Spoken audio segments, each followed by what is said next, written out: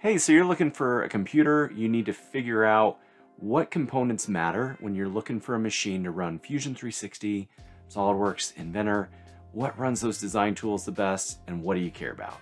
Coming up. Hey, Tyler Beck with Tech and Espresso. Today we're talking about the main components that you need to look at when you're looking at getting a new machine. We're going to talk about processor, the memory, the graphics card, those are key. But before we do that, you got to decide laptop or a tower desktop. So for me, it's kind of a no-brainer.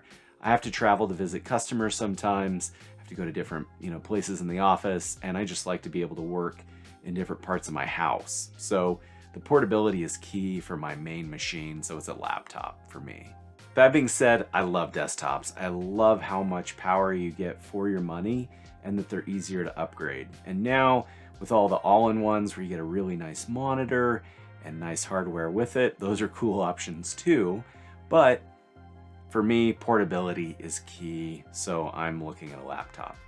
But let's talk about the components. Let's talk about the processor. Okay, so when it comes to picking your processor, there's a couple things you'll notice. One is the processor or clock speed, and then the other is the number of cores that it can utilize and that it's able to run. Now, CAD and design software, uh, for the most part, is going to be reliant on that one main core, and that's where clock speed or the speed of the processor is king. So that's definitely that number that you should be looking at first is how fast is it? So let's take a look at the system requirements that Fusion 360 suggests. So first thing we'll be looking at, obviously they're saying get a current operating system, so Windows 8 or Windows 10, um, and then the as well as the Mac OSs to be that you'll need to be able to run. And so here we have the baseline for the core. So they're saying four cores and there's that clock speed, a 1.7 gigahertz or greater. If we scroll down, we'll notice they actually take it a little bit further and they say here's some ideal specs if you're doing complex models or you're having to do more processing like running CAM toolpaths. So they're calling for 3 gigahertz or greater with 6 or more cores. Running out to a place like Geekbench, you can get a look at how the different processors out there, current processors are scoring for their single core speed score along with their multi-score. So of course, you know, with Fusion, you'll want to gravitate towards the single core score. Ideally, you're getting something that's scoring well on both spectrums, but of course, the single core score related to your overall clock speed and its performance is something to be looking at first. For a little bit more perspective, if we jump out and look at the SolidWorks requirements or hardware requirements, and um, they're calling for a little bit more, calling for a 3.3 gigahertz processor, and then on the RAM side, they're actually asking for 16 gigabytes, a little bit more, and calling out one of my favorite things, solid state drives. This is one of the biggest improvements I've experienced using a solid state drive instead of a regular hard drive will improve your read and write times, and generally, it just feels a lot faster to me. My boot up is fast, and my application processing is fast. I love having solid state drives, and I like having more than one in my laptop. Coming back to Fusion, they're mentioning that 8 gigs of RAM um, as a minimum. So don't get stuck on the RAM. Invest as much as you can afford in your budget with for the a good processor and now a good graphics card. Let's jump into that. So a quick scan of the Geekbench browser benchmarks, you can start to get a feel for how things are scoring um, on these dedicated graphics cards. So I scroll down, I have I find an old gaming card, the GTX 1080 that I've had in previous machines that ran really well.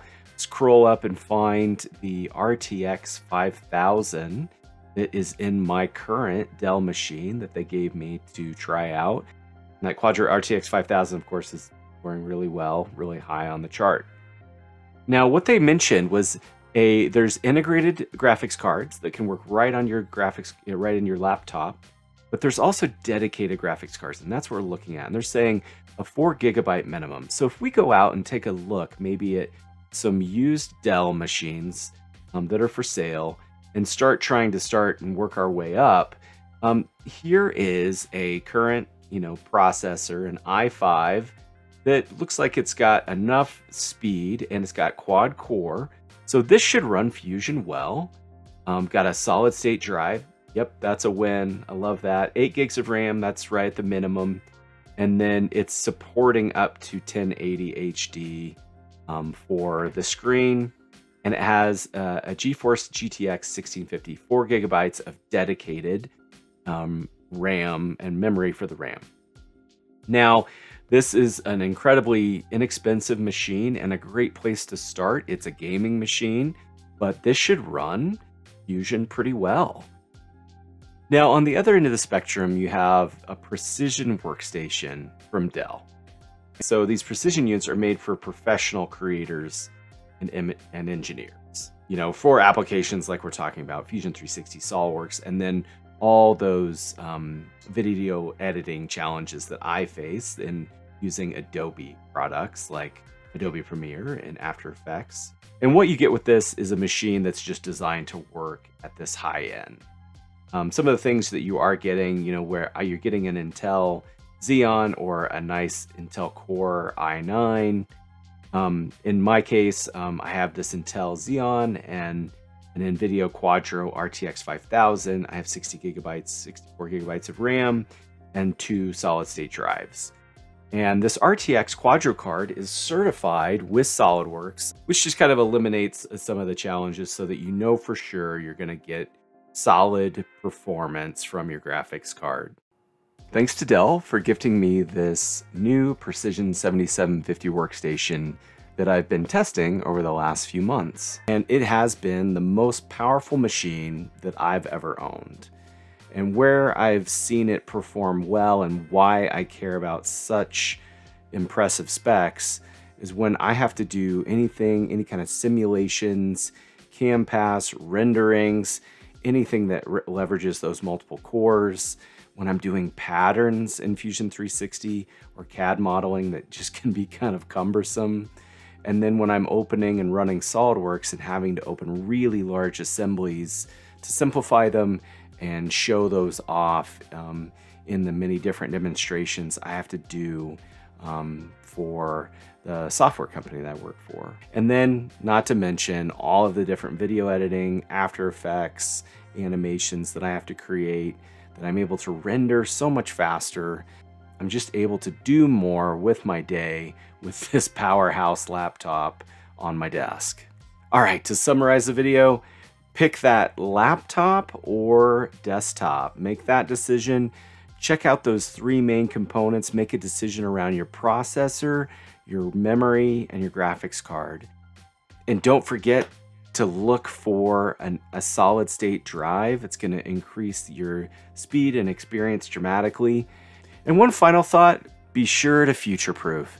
Will the components you're buying still be relevant, still be useful a year from now, two years from now? That's why I try to buy a little bit more than the bare minimum specs of what I'm trying to get so that in general, I'll get a better return on my investment.